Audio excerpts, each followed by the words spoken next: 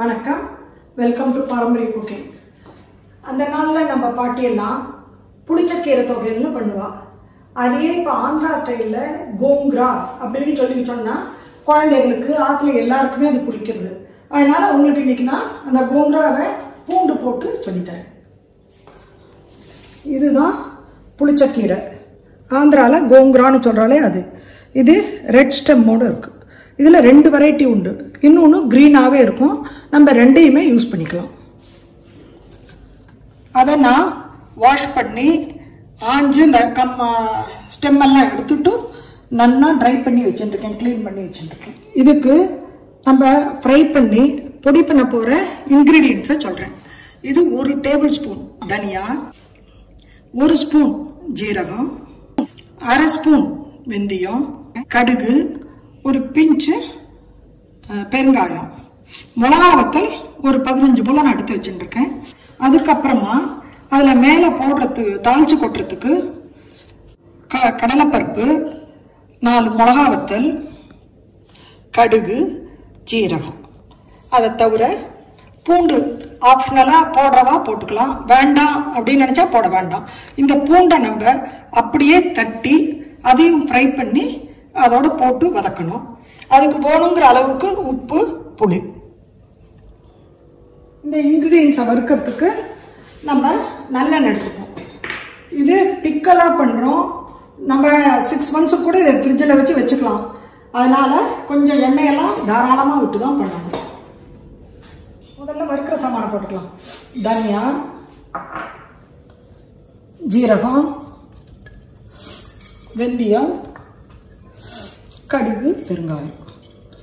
இது எல்லாத்தையும் சூடு வர வறுத்துண்டா போதும்.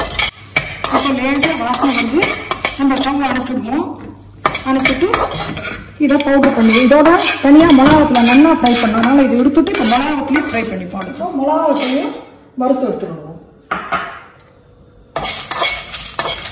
மீடியமாக வறுத்தா போதும். ரொம்ப கருப்பாக வறுக்கணுங்கிறதெல்லாம் இல்லை. நெக்ஸ்ட்டு நல்லா ஒரு கரண்டி எண்ணெய் வச்சுக்கலாம். அபவுட் த்ரீ ஃபோர் டீஸ்பூன்ஸு வச்சுண்டு. இது பாருங்கள் என் கையால் ஒரு பெரிய புடி இருக்குது இத்தனை இந்த இலைக்கு இதை போட்டு நல்லா சுருவில் வதக்கிக்கணும். வதக்கி விட்டு இதில் புளிப்பு இருக்குது இந்த கீரையில். அப்போ கூட அந்த புளிப்புக்கு அந்த உரப்போட நமக்கு ரைஸ்க்கு மிக்ஸ் பண்ணிக்கிறதுக்கு அது சரியாக வராது. அது இருந்தால் கூட இந்த அளவு புளி அதை எடுத்து நான் தண்ணியில் ஊற போட்டு வச்சுருக்கேன். அதையும் இதோட சேர்த்து போட்டு அரைச்சி விடுவேன்.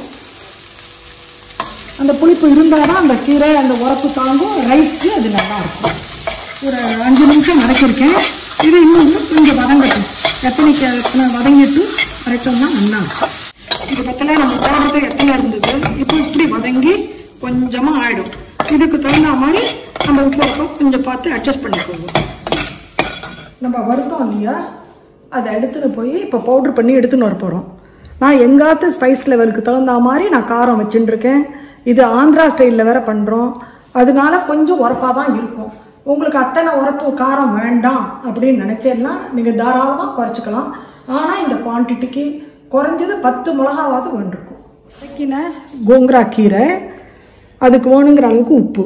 நான் காமிச்சேன் இல்லையா? புளி. அந்த புளியை ஊற வச்சு இந்த மாதிரி இந்த பேஸ்ட்டு அதை போட்டுருக்கேன் இது மூணுத்தையும் சேர்த்து இப்போது பல்ஸில் போட்டு அரைச்சின்னு வருவோம். ரொம்ப வழுவூனா அரைச்சாலும் நல்லா இருக்காது. அதை அரைச்சின்னு வந்துட்டு நான் காமிக்கிறேன். இப்போ அடுத்தது நம்ம எடுத்து வச்சுருக்கிற கார்லிக்கை லேசாக தட்டி போடுவோம். நான் தோலோடு தான் வச்சுட்டுருக்கேன் ஜென்ரலாக இப்போ எல்லாரும் வரலாம். தோலோடு போட்டால் அது டேஸ்ட் ஜாஸ்தி சொல்கிறேன் அப்படி தான் நானும் இப்போலாம் போடுறேன். உங்களுக்கு மனசுக்கு அது பிடிக்கலைனாக்க நீங்கள் தோலை எடுத்துட்டும் பண்ணிக்கலாம். லேசாக தட்டிட்டும் அதை இப்போ நான் ஃப்ரை பண்ண போகிறேன் இப்போ நம்ம கொஞ்சம் தாராளமாக எண்ணெயை வச்சு கடுகு தாளிச்சு கொட்டிக்கணும்.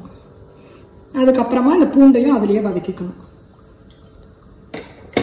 எண்ணெய் காய். எண்ணெய் காஞ்செடுத்து கடுகு ஜீரகம் போடணும். கடுகு வெடிச்சதுக்கு அப்புறமா இந்த கடலை பருப்பு போடணும். கடுகு வெடிக்க ஆரம்பிக்கிறது. இப்போ கடலை பருப்பு போடுறேன். அப்புறமா மிளகா வச்சு. இப்போ இந்த பூண்டையும் போட்டு ஒரு நடக்கம் வதக்கிடுவோம்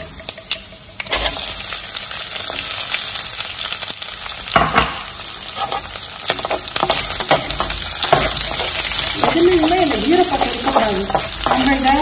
மூணு நாலு மாதத்துக்கு ஸ்டோர் பண்ண அதனால் கீரையும் நல்லா ட்ரை பண்ணி வாஷ் பண்ணி உணர்த்தி அப்படி தான் எடுக்கணும். இந்த பூண்டுமே ஈரப்பதம் இல்லாத கொண்டு இப்போ நம்ம அரைச்சி வச்சிருக்கிற இந்த பேஸ்ட்டு கோங்குரா பேஸ்ட்டு இப்போ அதில் போட்டுருங்க.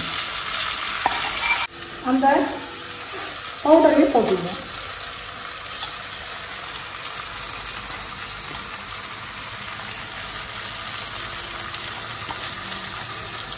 நம்ம இப்போ வதக்கின்னு இருக்கோம். நம்ம விட்டுருக்கிற எண்ணெய் சைடில் வர ஆரம்பிக்கும். அந்த டைம் வரைக்கும் பண்ணினா அது கரெக்டு நம்ம கோங்குரா சட்னி ரெடி இதை கொதிக்க கொதிக்க சாதத்தை எடுத்துட்டு அதில் நல்லெண்ணெய் கொஞ்சம் தாராளமாக விட்டுண்டு. நெய் ஒன்றுனாலும் நெய்யை விட்டுண்டு.